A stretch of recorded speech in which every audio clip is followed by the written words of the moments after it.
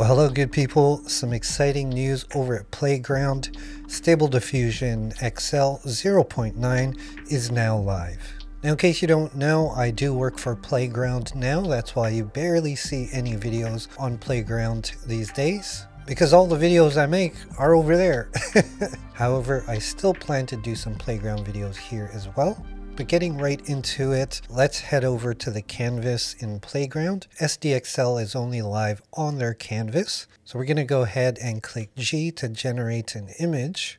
And here on the top right, you see model. Here you can access Stable Diffusion XL. Let's click on that. There really isn't anything majorly different except that it's not usable with ControlNet at this point or any of the newer Dream Booth filters. When we click on filter, you see it's their older text filters. The other ones are grayed out. Most likely when 1.0 comes out and they're trainable with Dream Booth, that will change too. So let's go ahead and generate an image. I have some examples here that I'll show you in a bit. I'm just going to copy this one here and we can do that by just clicking on the image. This is an existing image and there's a section here where it keeps your prompt and your negative prompt. So I'm just going to click on that. I'll leave all my other settings and we'll bring our generation frame. Let me zoom in here a little bit. I'm going to go ahead and generate this at 50 steps. However, I will tell you between 30 to 40 is usually more than enough. Try 50, there really isn't that much difference.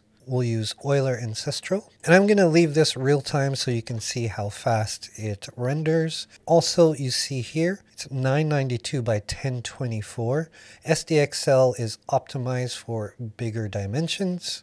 And typically you're not going to get a lot of double heads, abnormal limbs, that type of thing, as long as you're not doing some weird aspect ratios. And you see, it really didn't take that long. Also, it depends on your internet connection too. Now, while I scroll through the canvas here, some of the examples I use with SDXL 0.9. There are a couple things I want to talk about. First and foremost, this model obviously is not complete. 1.0 is coming out, and this isn't a revamped model. It's more like a, a tweaked model of SD 1.5 and 2.1. And for those of you that know the whole tech side of it, basically now it uses OpenClip and Clip which are basically a text and image encoder, and it goes through an advanced image to image process to get the higher resolutions. These examples you see are all 1024 by 1024. Now you can tell like the color, the contrast, they're very vibrant and bright. Here's some photorealistic examples. I will tell you you can get pretty photorealistic examples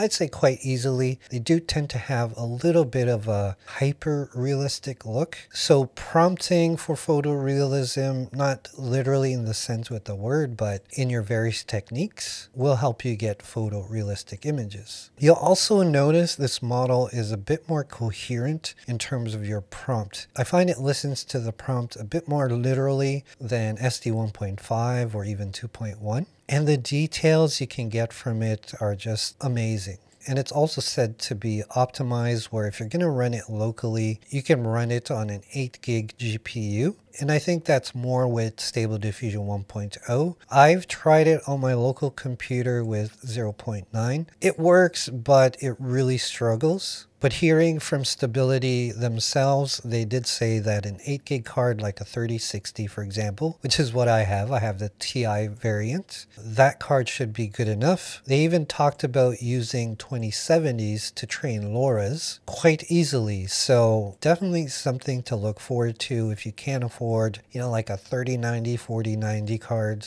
And for those of you that can't run it locally, places like Playground, I'm sure there'll be other online platforms that will have SDXL on their platforms if they don't have it already. So I know this was a short video, so head on over to Playground to try Stable Diffusion XL 0.9. Until the next video, my friends, I'll see you when I see you.